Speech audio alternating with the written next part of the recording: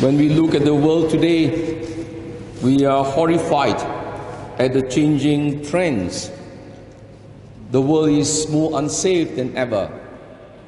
Even though with all the modern technology and security that has been promised to us, we know that at any time in history, this world is a much unsafe place to live in. We have wars all over, and not only military wars, civil wars, we also have trade wars. So, what is the real problem? The problem is not because people don't understand, it's not because people do not know, it's not even people because they do not know the consequences. They are just incapable of overcoming temptations, overcoming their sinful desires. So it's important for us to ask then what is the root problem? That's the reason why today, in the first reading from book of Baruch, the prophet himself said, all the disasters, the curses that we experience today is the result of the fact we have not listened to the voice of the Lord, whom He has sent us. We have not listened to the voice of the Lord, but each following the dictates of his evil heart, we have taken to serving alien gods. The real capital sin in the world is secularism. It is secularism that removes people away from God. When people are cut off from God, their conscience becomes numb.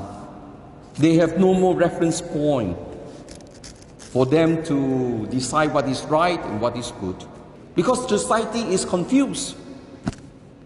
And the confusion in society is the result of the fact that men are no longer connected with God and with the truth. Today in the gospel, Jesus warns us, At last for you, Chorazin, Bethsaida, and Capernaum, you want to be exalted high as heaven, you shall be thrown down to hell. When we think too highly of ourselves, and that is what the human person does today, he thinks he has all the answer. He is arrogant. He thinks that whatever he is doing is always right. He doesn't refer to any um, authority higher than himself. And this is the situation that we are facing today.